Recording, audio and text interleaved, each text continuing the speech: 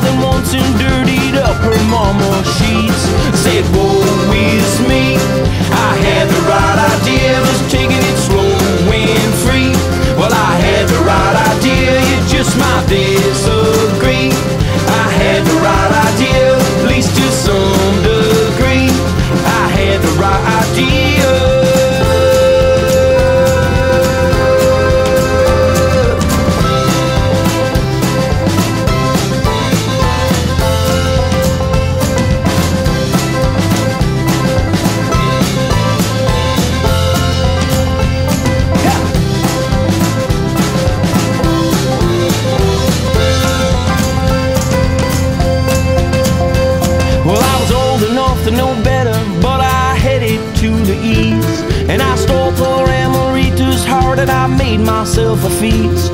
Well, I sat down to the table and it was beaten on my plate. Goddamn, I love a woman who tries so hard to keep me straight. I said, Woe, is me. I had